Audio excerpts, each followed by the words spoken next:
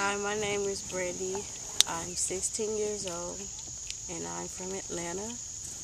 And this is my first year at Paddle Georgia 2012. Hi, I'm Zikiyah and I've I've been on the water before. I'm 15 and I'm also from Greater Atlanta. Today I found some turtle eggs on the beach and I'm actually scared, but they look pretty cool. And um, yesterday I caught a tadpole with my bare hands, and I wanted to save it, but Alicia said that it might not survive, so I let it go. And uh, this is my first year paddling for real, and I think I did pretty good, even though I'm nervous about the little alligators. but uh, I think I did good and I flipped over at the boat, me and Brooke, in the water, and I got wet for the first time. Did it feel good though? Was it? It felt good, but it was scary. But you survived though, Yeah, huh? I survived. That's good. Cool. Um, yesterday, um, me and Brandy paddled together all day yesterday. It was pretty cool being on the water with her.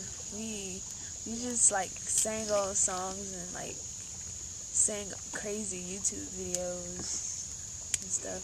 It's cool being out here, even though it's hot work. It's pretty cool. Have y'all seen any other wildlife out here?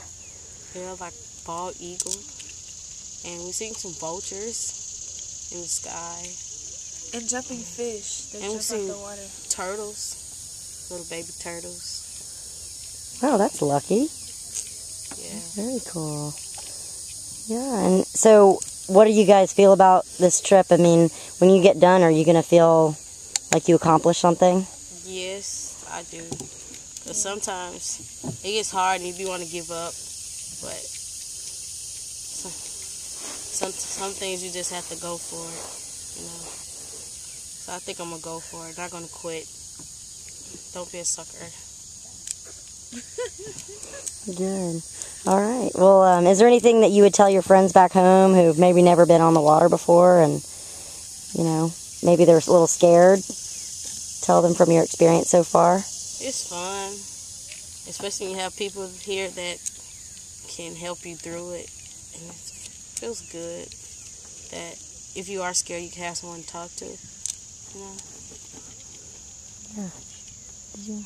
Uh, I say wear lots of sunscreen if we're gonna come out here because it gets really, really hot.